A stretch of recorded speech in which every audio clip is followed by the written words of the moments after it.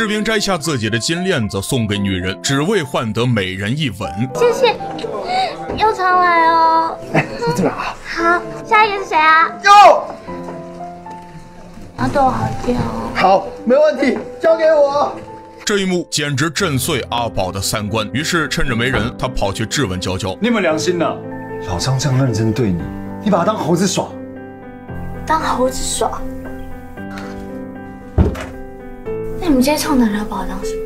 从几颗星到几条杠的，从修马路到挖粪坑的，我就贱呐！不配得到几个戒指，几条链子，我不配被人疼，被人爱啊！”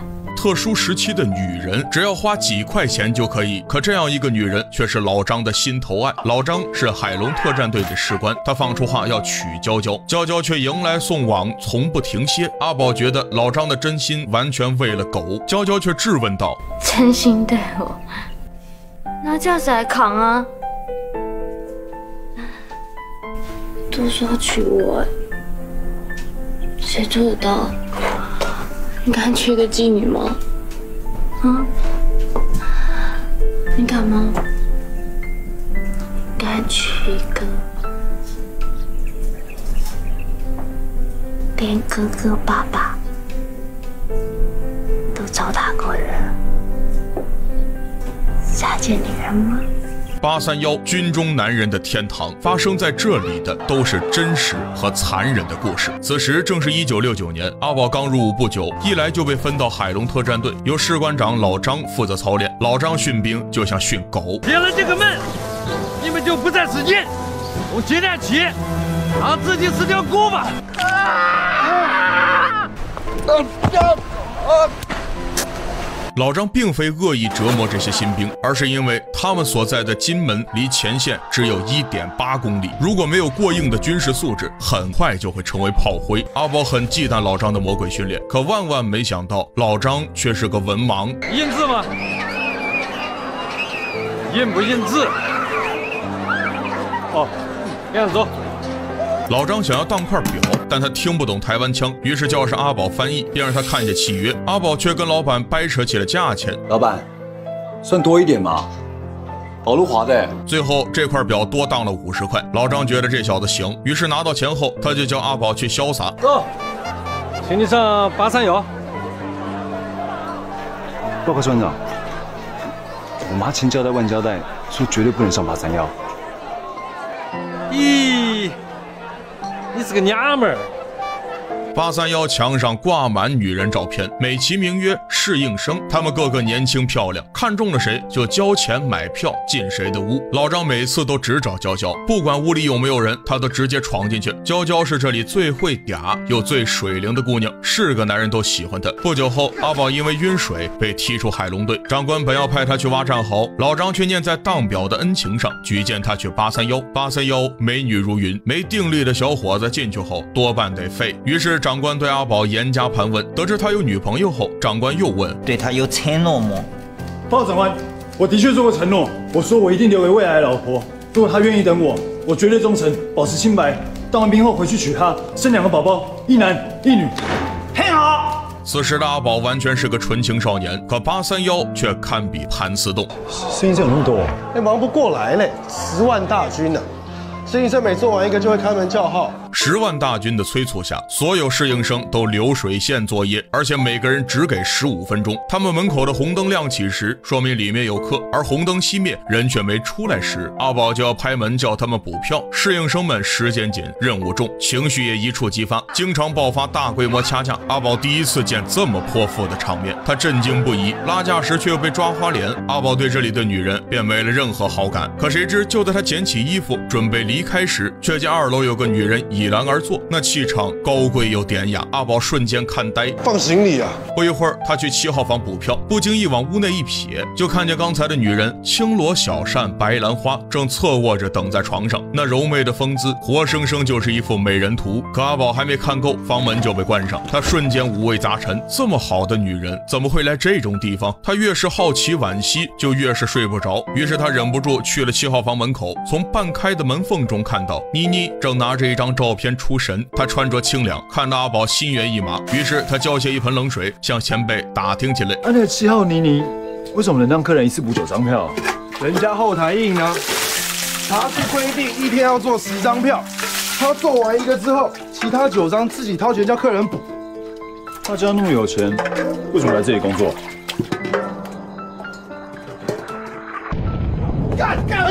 突如其来的炮弹打断了阿宝的探究，但没想到这发炮弹却震坏了妮妮房里的灯泡。阿宝去换灯泡时，终于靠近妮妮，但他又呆瓜一样，满眼都是灯，眼神一次也没落在妮妮身上。这这么多女人，你不会想要？我可以忍着守护人的，为你女朋友。才不是！看来是个青涩大男孩。这么精彩的剧情，一定离不开好的设备观看。我最近就换了个新手机，旧的直接爱回收回收了。上市公司，安全可靠，下单就有工程师上门回收，特别方便。你们要回收手机、平板、笔记本电脑，到爱回收就对了。于是妮妮拿出吉他，想教阿宝唱歌。她的纤纤玉臂绕过阿宝，一下一下拨着弦，也拨着阿宝年轻慌乱的心。身体贴近试探后，两人都确定对方不是好色之徒，便开始交心。从此，每个失眠的夜晚。妮妮就拿棍子敲下房顶，住在楼上的阿宝听到后就立马下楼。他们喝酒聊天，谈音乐，在黄色天地开辟出一方净土，这让阿宝感觉八三幺还是不错的。可与他同批次的中华星却很惨，他是个正经的斯文人，却被分去挖战壕，白天像驴一样根本没得歇，晚上又睡在威尼斯宿舍。老兵一个不高兴还叫他起床，让他表演水上俯卧撑。好不容易盼来每月一天的休息日，华星又被老兵推进八三幺消费，一下子就花光。三个月的薪水，华兴像被夺针般躲去角落，久久无法平静。他觉得自己的身与心都磕碎在了这个地方。为什么人要当兵？为什么我们都没有选择？阿宝不知该如何安慰。而随着战事吃紧，华兴却来得越来越频繁。他来只找莎莎，她是华兴第一个女人。可今天华兴来找莎莎时，里面的人已经超过十五分钟，却还是不出来。阿宝立马拍门，结果却听到里面传来打斗声，他赶紧推门而入。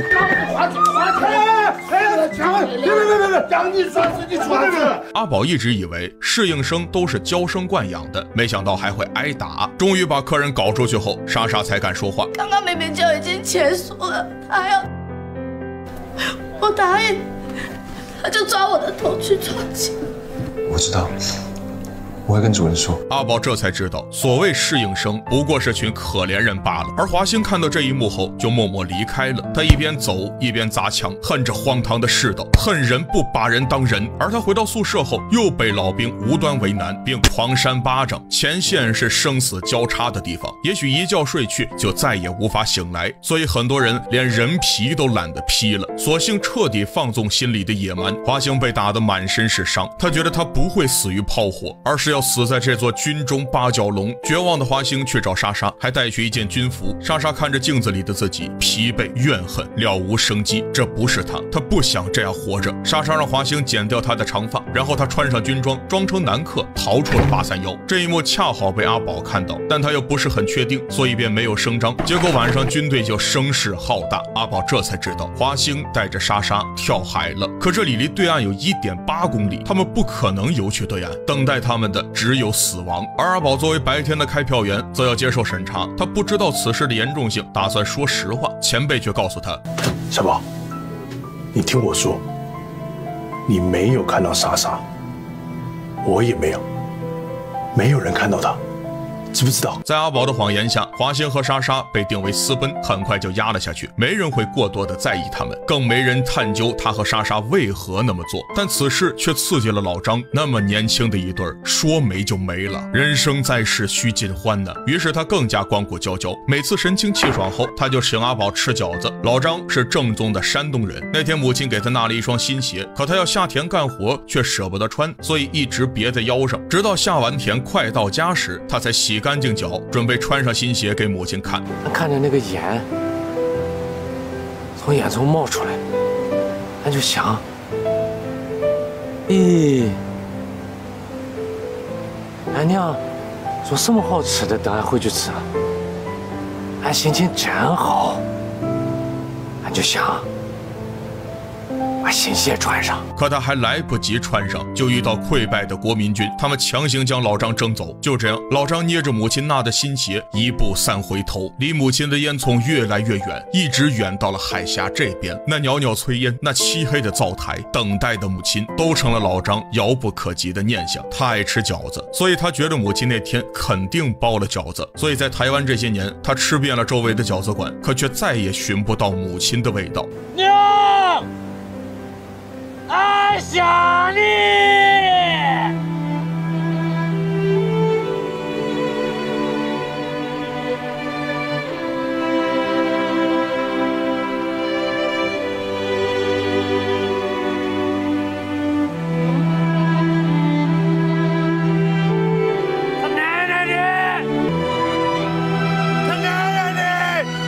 泪水不自觉进出，老张压了二十年的思念，终于在这一刻释放。老张不识字，所以阿宝回去后就自发的替他写了一封家书，让他寄给山东的母亲。老张却显出一种粗暴的惆怅。这有啥用？这海峡只有鸟，那子弹能飞得过去？阿宝说，他爸有个日本朋友可以帮忙传信，这是很大的诱惑。可老张却很清醒。抓到军阀呀！军阀和距离生生按下老张所有的乡愁，但阿宝还是拿出写好的信，一句句读给老张听。老张听得很认真，那一言一语早就在他心里咀嚼无数遍，如今只能通过海风捎给海峡对岸的母亲了。二十几年未尽的孝道，不知何时能还。千万要。保重身体，要健康、平安。不久后，阿宝收到女友的来信，他满心欢喜，结果却是分手信。他瞬间不知如何是好，于是便去找妮妮。我这样做到底会累死吗？我干嘛傻傻守着承诺？我明明承诺是给自己的，不是为了谁。做不做得到？都是对自己负责，跟那个对象无关。既然不是你的。就不要再把心放他身上。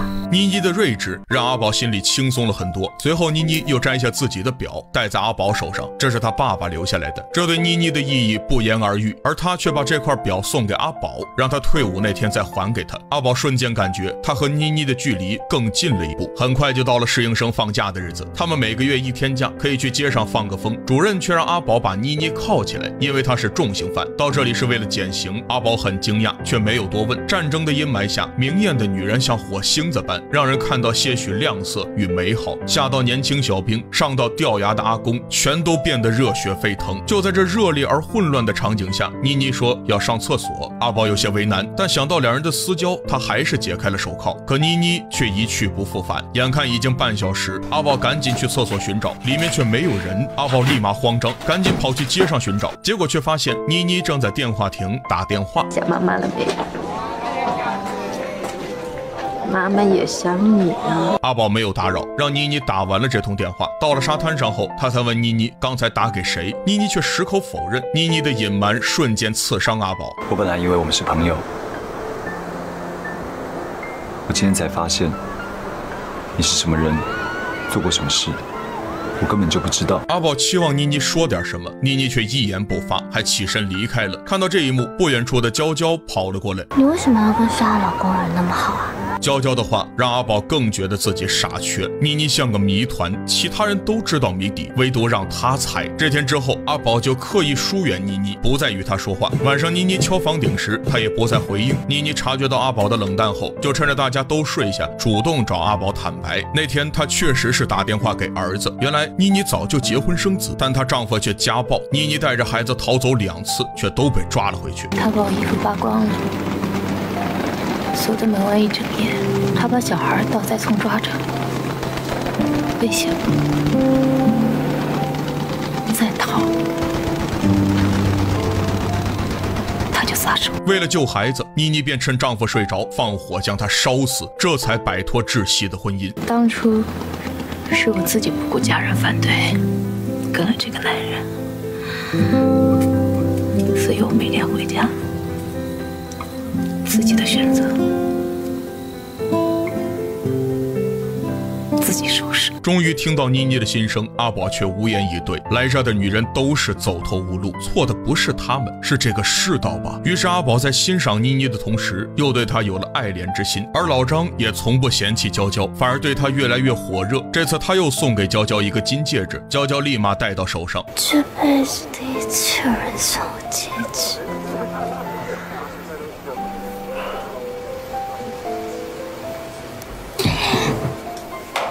那你还娶我吗？老张只是迟疑了几秒，娇娇的心就仿佛等了一生那么长。他嘴角的笑无声落下，殊不知对老张这种糙汉子来说，爱和承诺不是说出来的，而是要实际行动。娇娇却并未懂得。老张离开后，他就拿出首饰盒，把锦绣珠宝戴满全身，这些东西全是男人送的。可再贵的黄金，也难掩他不堪的经历。娇娇清楚，男人对她的迷恋不过是一场欲望撑起的奢华，没有谁是真的。爱他这个人，娇娇觉得自己活得很虚假，她的眼泪簌簌落下，她不想再这么过下去了。可不久后，她就怀孕了。老张当即宣布：见过老子也不行，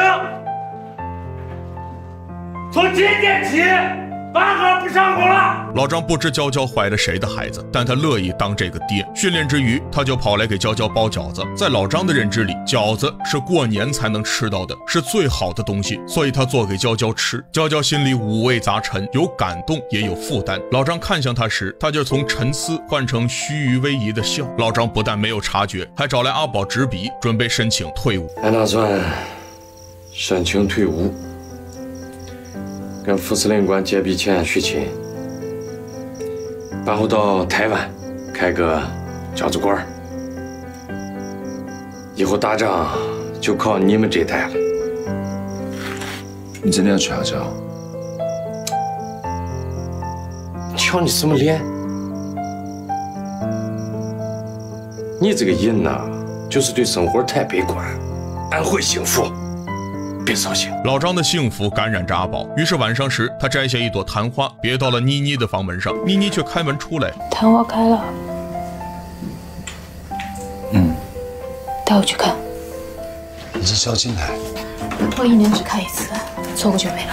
于是两人偷跑出去，将军中乐园甩在身后。随着他们跑进高粱田，小虫纷纷飞起，像从天上掉落的盈盈星子，绕着他们浪漫的炫舞。而他们的手不知何时已经拉在一起。无边的田野，无人的夜晚，他们第一次如此舒畅。可终于找到昙花时，妮妮的笑却落寞了。昙花还未开，他们来早了，也遇见的有点早了，未赶在一个太平盛世。妮妮了然般一笑，然后踮起脚亲吻了阿宝的眼睛。他们的关系。在朋友之上，恋人之下，也许这个状态是最好的。这一吻洗涤着阿宝的情感，让他觉得八三幺这地方也有很纯的心。然而第二天，阿宝就被娇娇雷到了，他竟又开始接客，这让阿宝错愕不已。搞了半天，她居然是假怀孕，为的就是歇几天。阿宝瞬间替老张难过不已，于是便将此事告知老张。老张正在看劳军表演，今晚有邓丽君的演出。老张兴奋的像个二傻子，可听到假孕消息后，他就再也笑笑不出来了。随后便起身。离开，而阿宝此时则被请上台与女演员互动。他原本很担心老张，但女演员一吻落下时，阿宝就麻了，不由自主就在台上跳了起来。老张则去八三幺找娇娇，他一进去就插上房门，然后低着头做足了心理斗争，这才说道：“行李俺都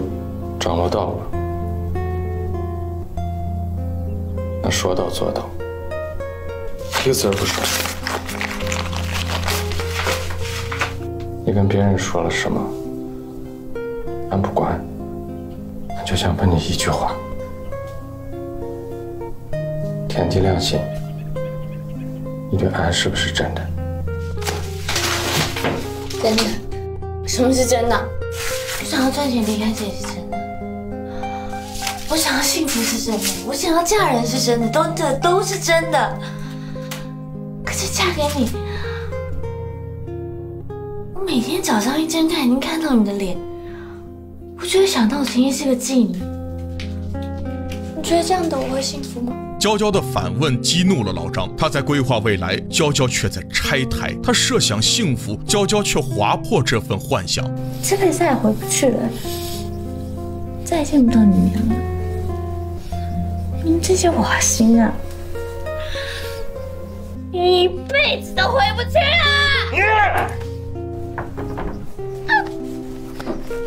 老张掐死了娇娇，最后他却悲哀地发现，他爱的并不是娇娇，内心最深处，他只是想要回家，回到记忆中的家里，那里有母亲的炊烟，有他心爱的放羊姑娘。可时间的侵蚀下，他已经记不清那个姑娘的脸，再怎么努力去回忆，也全是娇娇的脸。既然回家无望，老张便断了心里的念想，想和娇娇通过结婚重新有个家。但倾巢之下安有完卵？战争面前既无烟火，也难以有家。老张被带走并枪毙。阿宝收拾他的遗物时，发现二十年来他只珍藏着两样东西：阿宝替他写的那封家书，以及母亲纳的布鞋。这双鞋老张珍藏了二十年，他想穿着回家，想穿给母亲看，可终究没能实现。阿宝只能把这些烧给他。我从头到尾都在骗他。